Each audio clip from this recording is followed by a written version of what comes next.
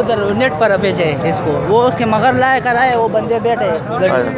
चलो कोई गल नहीं। किन्ने की बेची है? तो जी असलम जी। मुस्लिम शाह साढ़े नाल है जनाब। तो वेखने घोड़ी इन्हें बेच दी मुस्लिम शाह कितने का बेचा है? पचासी हज़ार का। कितना उम्र है इसका? चार साल तो क्या ये क्या लगा इधर? नहीं फार्म में क्या लगा इधर?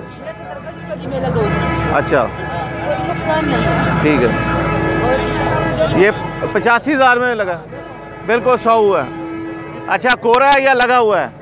टांगे में लगा है रेड़े में? कहते भी लग रहा है सवारी में भी लगी गबन भी है। गबन भी है। अच्छा गबन भी है जी। और दूसरा ये वाला?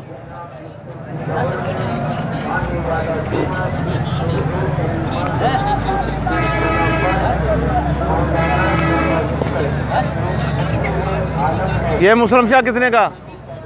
रुपए मांग रहे एक लाख रुपए। उम्र कितना है इसका?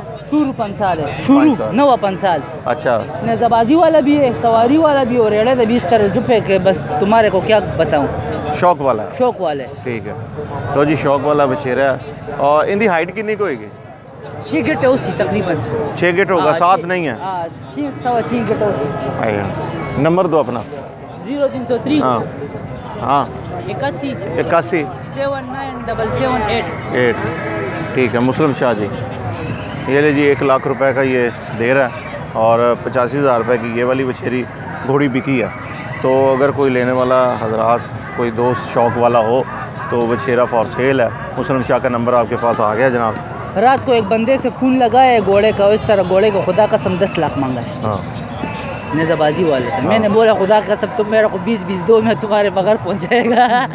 एक के ऊपर बीस रखो तुम्हारे घर पर पहुँचाएगा। आएगा सही बात। जाति नहीं लगता है ना यार जाति से क्या बनते हैं? सही बात। हाँ दो हज़ार चार हज़ार पन पाँच हज़ार एक एक डंगर कमा ले दस बिकेगा।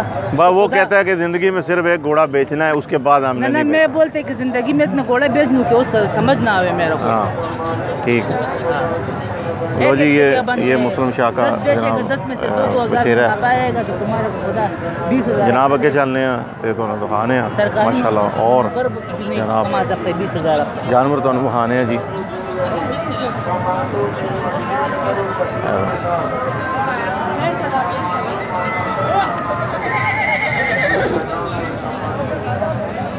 तो जी इजाज़त दो जी। इंशाल्लाह वीडियो अच्छी लगी हो तो लाइक एंड शेयर ज़रूर कीजिएगा। इजाज़त चाहने हैं अल्लाह